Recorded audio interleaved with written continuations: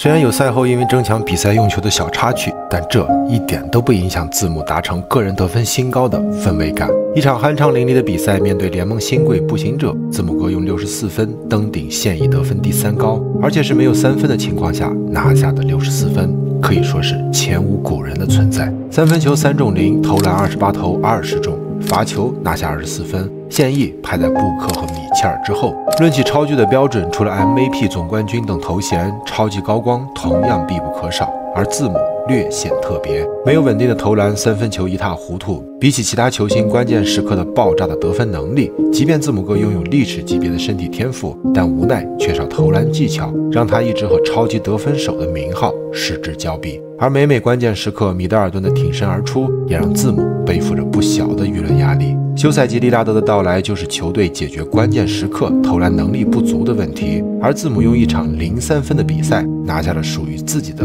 单场六十加，比之前自己的最高得分超出了整整十分。谁说没有投篮就拿不下超高分？十年过去了，字母从一个瘦弱腼腆的孩子，逐步走向联盟顶峰，一路上他一个个打破质疑。本赛季西部竞争激烈，东部同样有着绿军和七六人虎视眈眈，还有上赛季绝杀自己的热火，要在东部登顶同样难度不小。谁才是现役联盟第一人？这个话题在字母哥拿到总冠军的那年开始更多的被人提及。詹姆斯日渐老迈，中生代还没有扛起大旗。字母哥当年就是那颗最闪耀的明星，但技术的缺失，还有每每关键时刻没投篮导致的输球，都让字母逐渐远离了球迷的视野。再加上苦寒的密尔沃基、东契奇、特雷杨、爱德华兹、莫兰特，当联盟新一代迅速崛起之时，字母还能有怎样的回应？昨天在纷争的联盟中，他给出了回应。字母的故事大家耳熟能详，从家乡偷渡到希腊，跑去训练馆和兄弟们换着鞋子上场。